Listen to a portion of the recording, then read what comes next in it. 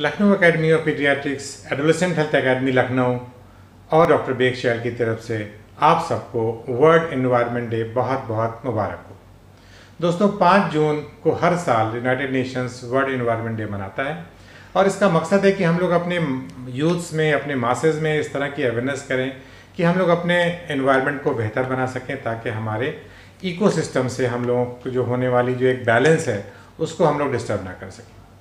इस साल का जो थीम रखा गया है यूनाइटेड नेशंस द्वारा, वो रखा गया है इकोसिस्टम रेस्टोरेशन यानी कि हमने जो इकोसिस्टम को हम लोग जो धीरे धीरे जो डिस्ट्रॉय हो रहा है, उसको हम लोग रेस्टोर करें और ताकि हम लोग की ज़िंदगी और बेहतर बन सके और इस एनवायरनमेंट में हम लोग का सर्वाइवल और बेहतर हो सके। इसलिए पूरा डिकेड लिया गया है। उन्नीस सौ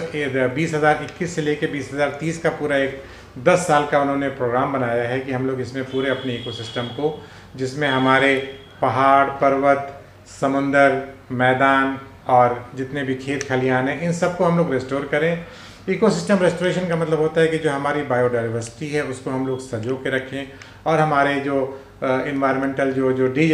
हो रहे हैं, जो डिग्रेडेशंस हो रहे हैं और जो डिफॉरेस्टेशन हो रहे हैं, इसको हम लोग रोकें। इस साल पाकिस्तान को पूरा वर्ल्ड होस्ट बनाया गया है, वो इस डे को सेलिब्रेट करने के लिए और सारे दुनिया में इस डे को पूरी अच्छे तरीके से मनाया जा रहा है। तो दोस्तों, हम लोग आज बात करेंगे एयर क्वालिटी इंडेक्स की। मैंने सोचा कि अपने इस वीडियो में आजकल जो एयर पॉल्यूशन हो रहा है, हम लोग अक्सर देखते हैं बात होती है कि एयर क्वालिटी इंडेक्स ख़राब है एयर क्वालिटी इंडेक्स हमारी अच्छी हो गई है। तो what is A Q I इसके ऊपर मैंने सोचा कि अपना अवेयरनेस करो ताकि आप लोगों को इसमें कुछ जानकारी मिल सके। बेसिकली जो एयर पॉल्यूटेंट्स हैं, ये हमारे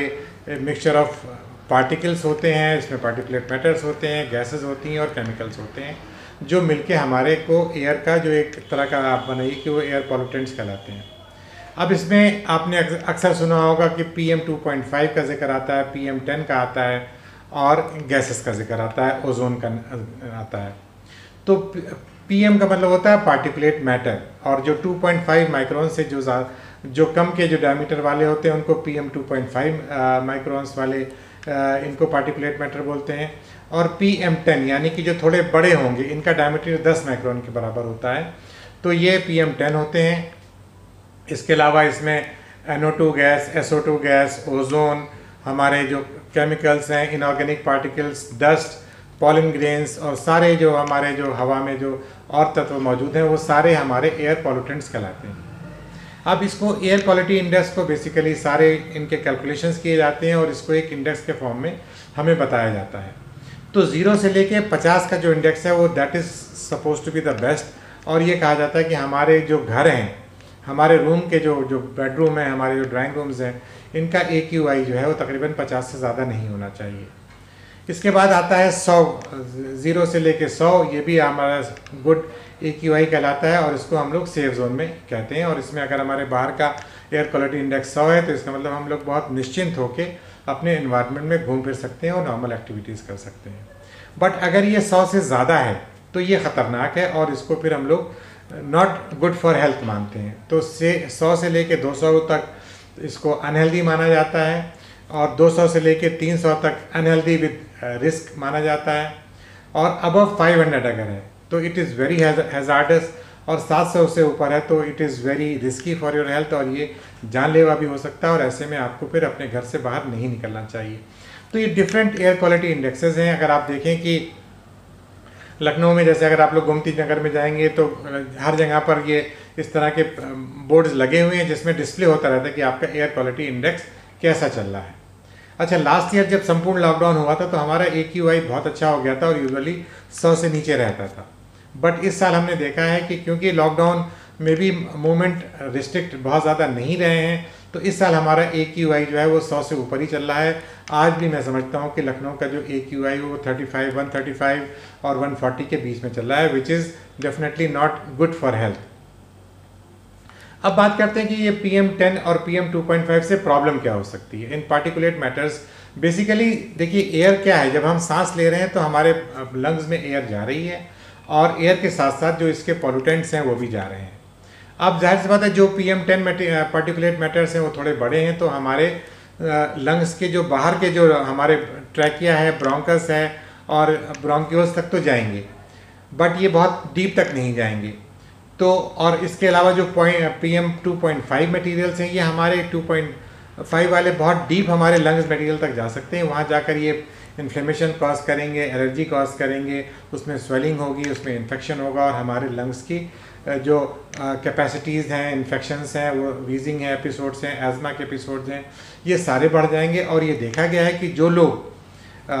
उन कंट्रीज़ में रह रहे हैं जहाँ पे परसिस्टेंटली एयर क्वालिटी इंडेक्स बुरा रहता है, वहाँ पर उनका लंग डेवलपमेंट बच्चों का अच्छा नहीं हो पाता है वहाँ पर उनके शॉर्टर लाइफ स्पैन है, यानी कि अब जो एक एवरेज ज़िंदगी है, उससे कम उनकी ज़िंदगी हो जाती है। तो ज़ाहिर सी बात है, देखिए एयर हमारी जीवन का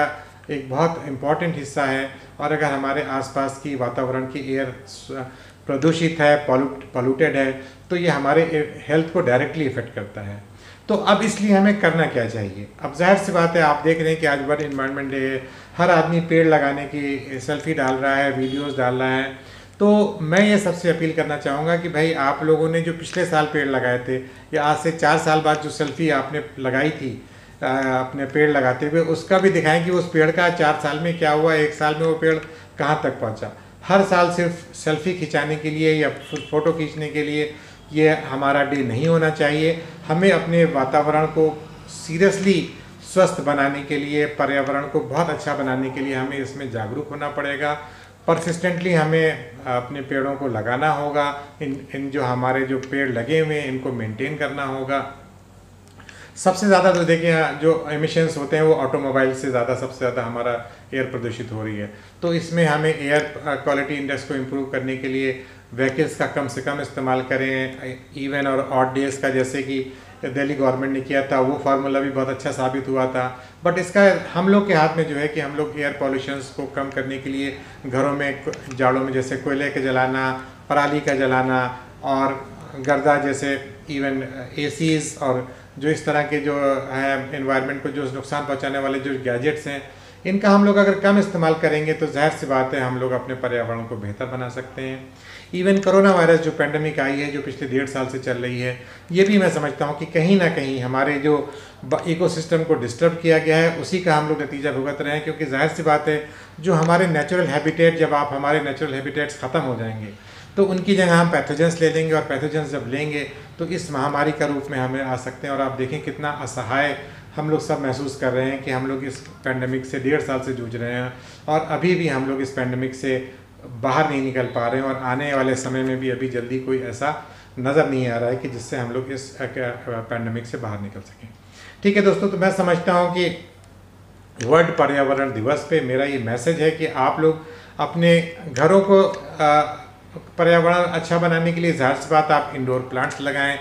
वेंटिलेशन अच्छा रखें धुआँ कम करें, अंगीठी और इस तरह के जो चूल्हे जो हैं, इसका इस्तेमाल कम करें।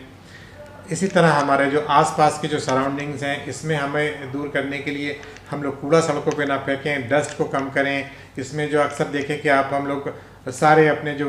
पॉलीथीन्स में अभी भी, हालाँकि पॉलीथीन बैन हो चुकी है बट स्टिल हम लोग पॉलीथीन का यूज़ करते हैं और पॉलीथीन्स डायपर्स सैनिटरी नैपकिन्स ये सारे जो बायो नॉन डिग्रेडेबल वेस्ट हैं, इसको हम लोग बाहर फेंक देते हैं, उनको फिर जानवर खाते हैं। तो इस तरह से हमारे, अगर हम लोग देखें तो हम लोग पर्यावरण को लेकर हमारा यूथ हमारे एडल्ट्स हमारे लोग सेंसिटिव नहीं हैं। तो इस तरह से हम लोग को स्कूलों में प्रोग्राम चलाने चाहिए। अपने हमारे एकेडमी की तरफ़ से भी हम लोग एक्टिविटीज़ करते हैं। डिफरेंट स्कूल्स में हम लोग इस साल लॉकडाउन की वजह से नहीं जा पाए। अदरवाइज़ हम लोग स्कूल्स में जाके पर्यावरण के ऊपर ए से लिखाना, लोगों में अवेयरनेस करना इस तरह की रेगुलर एक्टिविटीज़ हम लोग करते हैं।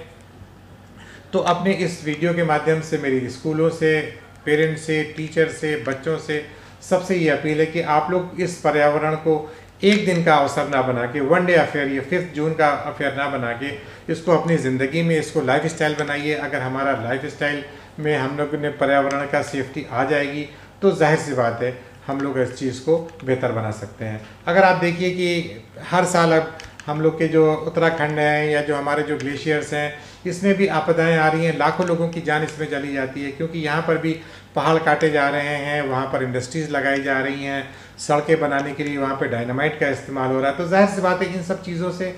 हमारे पर्यावरण को बहुत नुकसान हो रहा है। तो मैं अपनी सरकारों से भी अपील करूँगा कि हम लोग के पर्यावरण को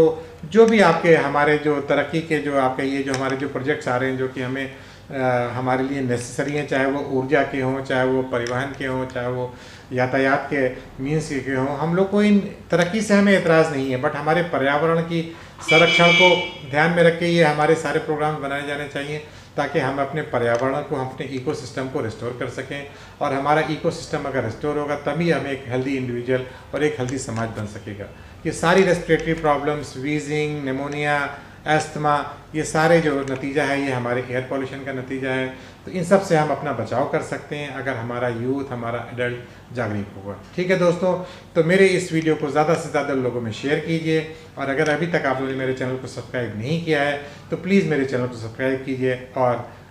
बेल आइकॉन प्रेस कीजिए ताकि ये वीडियो सारे लोगों में पहुँच सके। Thank you bye bye see you